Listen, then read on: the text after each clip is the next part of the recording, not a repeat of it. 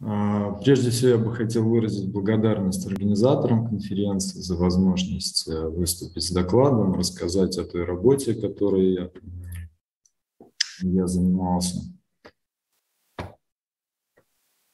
А, я представляю две организации. А, это Институт медицинской приматологии, и э, до этого я работал в лаборатории канцерогенеза и старения э, в больнице онкологии имени Николая Николаевича Петрова. И сегодняшний доклад будет э, о той работе, которая выполнялась в рамках лаборатории канцерогенеза и старения. А именно он будет посвящен тому, как мы применяли имеющиеся у нас методы э, экспериментальной онкологии для оценки противоопухолевой эффективности нового платиносодержащего препарата BPC-1. Ну, прежде всего, я бы хотел сказать пару слов об истории отечественной онкологии. Э, в этом году исполняется 95 лет со дня создания первой экспериментальной онкологической лаборатории. Создана она была как раз в Институте онкологии Петрова, Николая Николаевичем Петрова, Петровым э, в 1926 году. И это старейшая и ныне действующая лаборатория э, территории Российской Федерации. А если говорить про методы, которые есть в арсенале экспериментальной онкологии, то их достаточно большое количество на сегодняшний день. Это классические клеточные культуры, 2D э, и э, более продвинутые э, культуры с использованием 3D-технологий, погружные или клетки, растущие на поверхности – кроме этого, применяется большое количество а, животных биомоделей, а, и на них имеется возможность моделировать опухоли путем перевивки опухолей. Это перевиваемые опухоли крыс, мышей. Они могут различаться по генетической характеристике. Реже используются другие виды животных, такие как рыбы или приматы. Про приматов сегодня Сергей Владимирович уже а, рассказал. А, э, кроме этого, используются спонтанные опухоли у животных. А, чаще всего в онкологических моделях это опять-таки грызуны со спонтанными опухолями. Есть возможность индуцировать опухоли химическими, радиационными воздействиями. А при этом а, достаточно высокая специфичность и частота возникновения опухолей на хорошо а, отработанных моделях. И большое применение сейчас получают генетически модифицированные линии животных, у которых имеется та или иная генетическая предрасположенность к возникновению спорадического спонтанного рака. Ну, э, вообще, если говорить об актуальности изучения новых противоопухолевых препаратов, то это связано с тем, что, э, к сожалению, э, заболеваемость онкологическая в общем не снижается, и Международное агентство по изучению рака в рамках проекта Cancer Tomorrow прогнозирует увеличение ежегодно диагностируемых новых случаев – Э, до 28,4 миллионов случаев э, в год к 2040 году.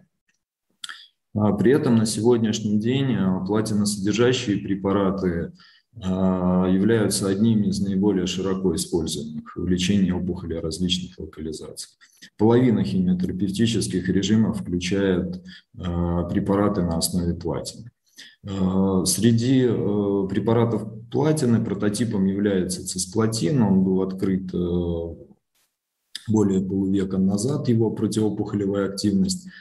Несмотря на активные исследования в этой области, э, ну, только еще два препарата используются широко во всем мире. Это карбоплатин и оксалиплатин, и несколько препаратов имеют национальный статус регистрации в Китае, Корее и Японии.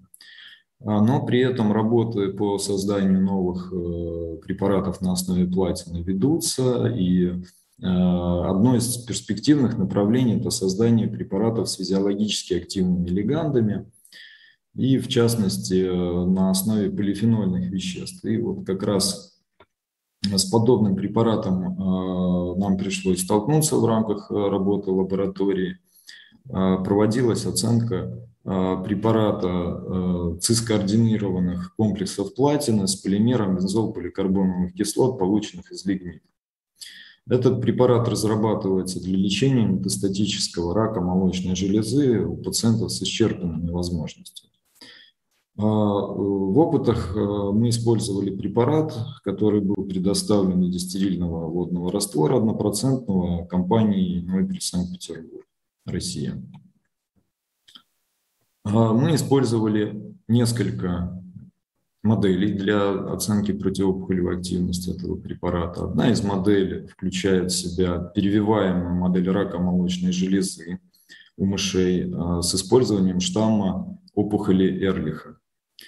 Опухоль инициируется подкожно, в зону правого бедра мышам, и через 48 часов после прививки а, начинается введение а, противоопухолевых препаратов. И на данной модели мы проводили сравнение активности препарата BPC-1 с цисплатином и карбоплатином. А вторая модель, которая была использована, это аутохтонные опухоли толстого кишечника, которые индуцированы были у крыс а, пятикратным ежедневным, еженедельным а, введением 1,2-диметилгидрозина. Это канцероген, который специфически вызывает множественные опухоли нисходящего отдела толстой кишки у крыс и у некоторых линий мышей. Причем эти опухоли обладают сходным гистогенезом со спорадическим раком толстой кишки у человека. Опухоли возникают через 5 месяцев после первого введения 1,2-диметилгидрозина. Макроскопический э, вид и гистологическая характеристика на фотографиях справа представлены. И вот э, в возрасте 5 месяцев после первого введения канцерогена мы начинали вводить тестируемые препараты. Э, всего в течение месяца было 12 введений препаратов выполнено, и сравнение а, проводили с э, таким препаратом, как 5-фторурацил. И третья модель, которая была использована, это модель а, аутохтонных опухолей молочной железы у мышей трансгенных, которые несут крысиный эпидермальный Э, рецепторы эпидермального фактора роста HR2-NEO. Э, э, эти мыши характеризуются возникновением множественных спонтанных аденокарцином молочных желез в возрасте около 6 месяцев. Вот на фотографиях тоже представлен внешний вид животного и гистологическая картина. Эта модель является общепризнанной мировой а, моделью карцином-молочной железы. И э, здесь мы сравнивали эффекты препарата с препаратом поклитокселом. Для оценки эффективности противоопухолевого воздействия мы использовали три подхода. А, первый подход включает в себя а, изучение динамики объема опухолевых узлов, который высчитывается на основании измерения двух размеров опухоли.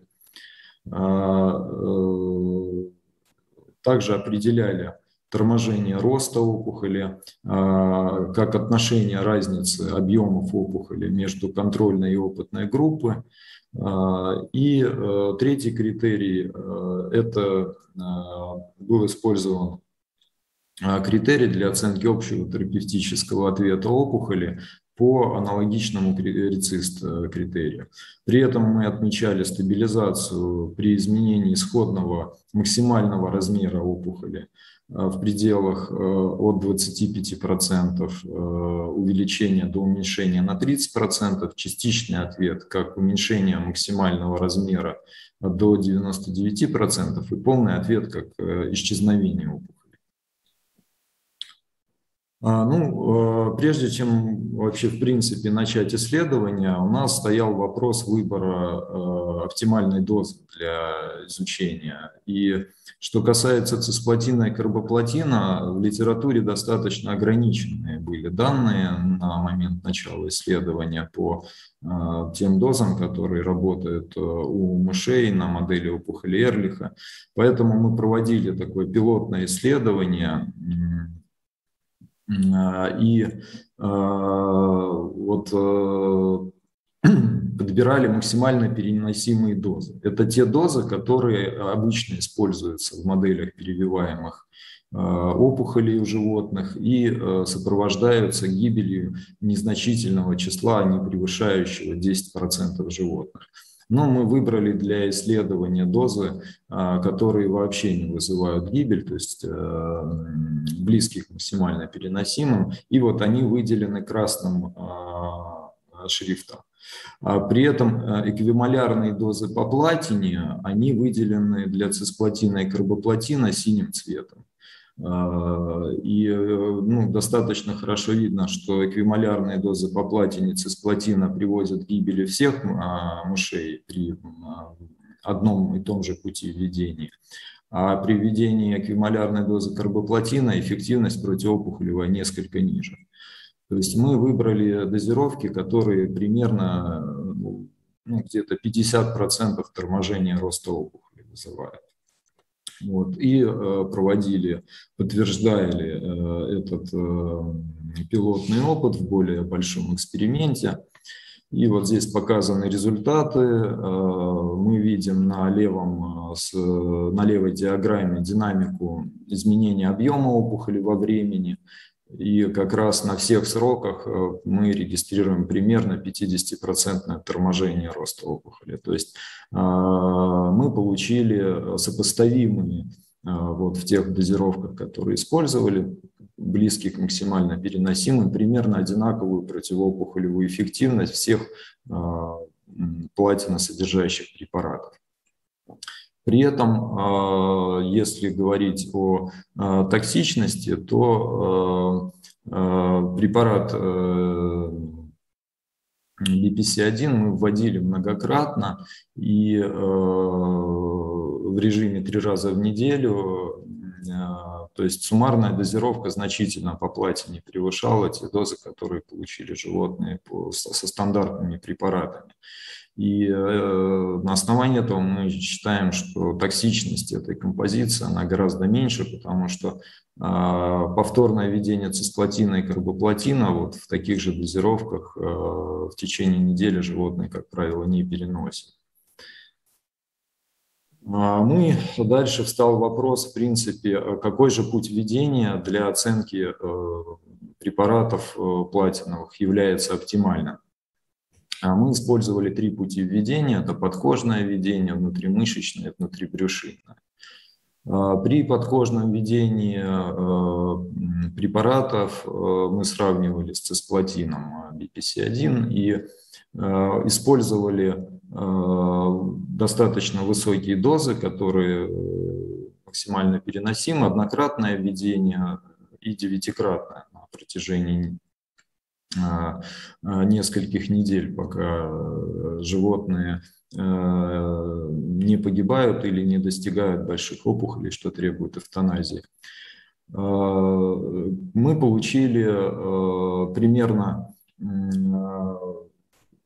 торможение роста опухоли порядка 60%, как для цисплатина, так и для препарата BPC-1. И э, однократное введение обладало несколько меньшей терапевтической эффективностью, на основании чего мы сделали вывод о том, что многократное введение более предпочтительно. При этом э, увеличивалась продолжительность жизни животных, э, что свидетельствует также о достаточно хорошем противоопухолевом эффекте. И больше 100 дней было, было увеличение, больше 100% было, простите, увеличение продолжительности жизни при применении вот как раз дозировки 62,5 мг и цисплатина в максимально переносимой дозе 5 мг на килограмм. А, при внутримышечном введении препарата а, мы получили несколько меньшую а, эффективность противоопухолевую как цисплатина, так и изучаемого нового препарата. При этом ну, сопоставимые были цифры по торможению роста опухоли с препаратом сравнения. То есть на основании этого мы можем сделать вывод о том, что внутримышечное введение препаратов платины для мышей не совсем а, оптимальный путь введения, но тем не менее э, для пациентов, вероятно, э, все равно э, внутримышечное введение может рассматриваться как возможное. При внутрибрюшинном введении мы получили для цисплатина аналогичные а, показатели торможения роста опухоли. А для э, препарата BPC-1 значительно более высокие цифры а, торможения роста опухоли до 90%. Но э, при этом э, внутрибрюшинное введение сопровождалось нежелательными явлениями, вероятно, э, системной токсичностью, что привело к укорочению продолжительности жизни животных. Поэтому вот внутриврышинное введение мы не рассматриваем как возможный путь э, для введения этого препарата, потому что это было во всех уровнях доз изученных. И э, если рассматривать внутриврышинное введение как аналог внутривенного, для пациента, то, собственно, внутривенное введение э, этого препарата э, также было исключено из э, потенциально возможного для пациентов. Поэтому для пациентов на основании вот этих исследований мы считаем оптимальным внутримышечное все-таки введение курсовое. Далее мы проводили оценку на модели опухолей толстой кишки, индуцированных 1,2 диметилгидрозином, для того, чтобы оценить э, возможный спектр противоопухолевой активности. И, э, кроме того, э, использование индуцированной модели, в отличие от перевиваемой, позволяет провести оценку на опухолях, где мы ожидаем наличие Э, разных молекулярных характеристик в силу э, различных нарушений генетического аппарата под действием канцерогенного воздействия. А в отличие от э, перевиваемой опухоли, где используется один штамм, ну, все определяется чувствительностью только этого конкретного штамма. И, значит, какие здесь были результаты получены? В контрольной группе мы на момент окончания эксперимента, препараты, я напомню, мы начинали вводить где-то в районе 5 месяцев после воздействия канцерогена, и через месяц мы проводили эвтаназию животных, а, в течение месяца осуществляли введение препаратов. В контрольной группе 82% животных имели опухоли на, э, по данным аутопсии, а все воздействия препаратами привели к уменьшению частоты животных с выявленными опухолями. Причем мы наблюдали хорошую дозозависимую э, активность для композиции, для, для препарата BPC-1. И э, сопоставим был эффект э, с действием пиафторурацила. А, кроме того, э, в Э, уменьшалось э, количество, среднее количество опухолей на животных, поскольку в данной модели э, достаточно часто мы видим более одной опухоли, формирующейся в нисходящем отделе толстого кишечника.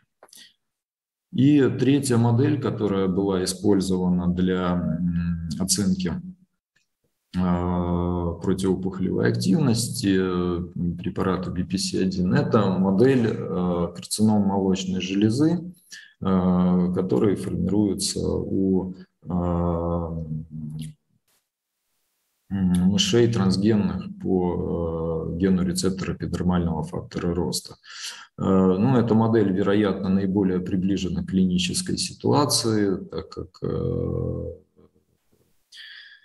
у многих пациенток именно выявляется данный рецептор как фактор, способствующий развитию опухолей. А, и а, какие были здесь получены результаты? У мышей возникало достаточно большое количество опухолей, у всех животных возникали опухоли. И при э, проведении лечебных воздействий мы не получили различий по э, количеству стабилизации э, опухолей на группу. Здесь использовали этот параметр, поскольку опухоли возникали в различный э, период от начала лечения, и использование такого параметра, как объем опухоли в динамике, ну, не позволяет провести адекватную тематическую обработку. А, вот по количеству стабилизации мы не получили какого-то значимого противоопухолевого эффекта как э, от изучаемого препарата, так и от препарата сравнения а, по клитокселу. А, при этом интересным был другой результат. Мы в примерно 13-12% случаев зарегистрировали полные ответы на воздействие Э, препаратом BPC-1 и в небольшом проценте случаев э, по, по, по клитокселу. А средняя продолжительность полных ответов была не очень э, продолжительная, несколько недель, но с точки зрения ожидаемой продолжительности жизни мышей на этой модели это достаточно длительный эффект. Полученные данные, в принципе, согласуются с, с довольно низкой чувствительностью э, данной модели к химиотерапевтическим воздействиям.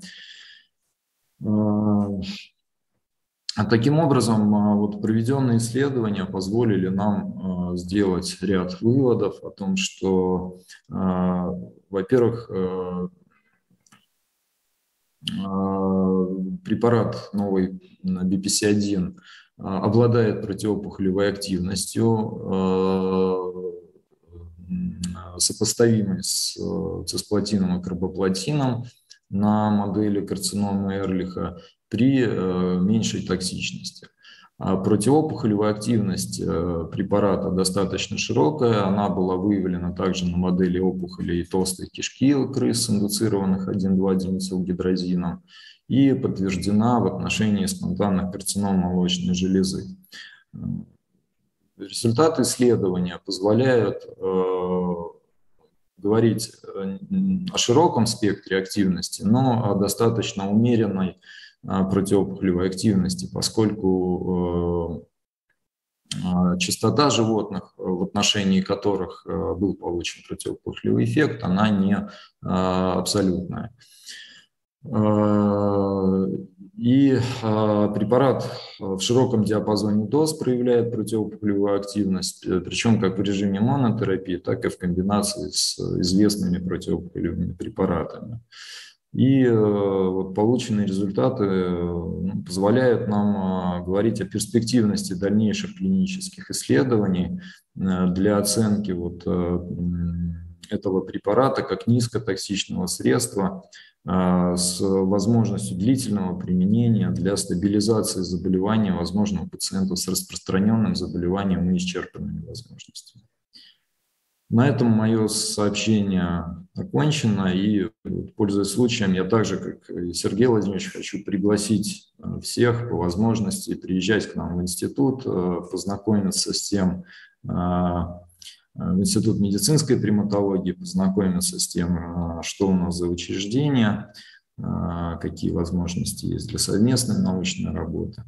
Благодарю всех за внимание.